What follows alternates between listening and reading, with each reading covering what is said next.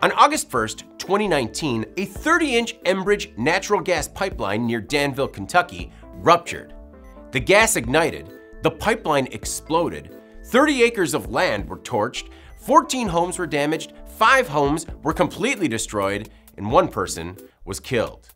The crack released about 101.5 million cubic feet of natural gas that ignited.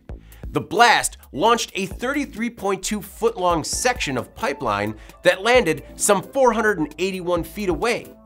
More than 75 people had to be evacuated and six others were injured. This week, the National Transportation Safety Board said the accident could be traced back to a manufacturing defect and ineffective cathodic protection.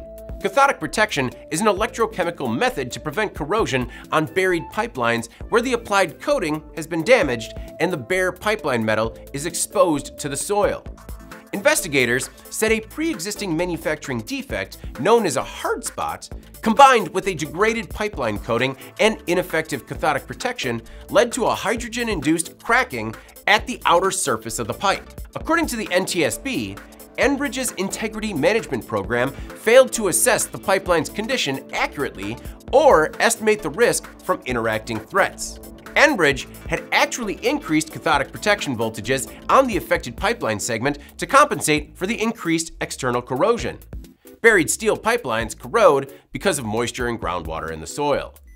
The NTSB issued six safety recommendations, three for Enbridge and three to the Pipeline and Hazardous Materials Safety Administration.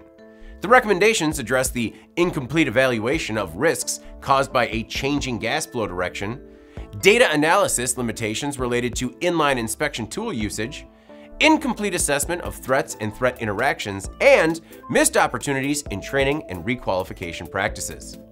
The pipe was manufactured in 1957 to the American Petroleum Institute pipeline standards that were in use at the time.